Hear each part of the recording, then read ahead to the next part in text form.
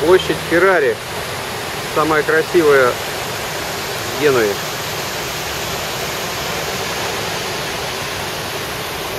Причем с автомобилем Феррари, по-моему, никакой связи здесь нет.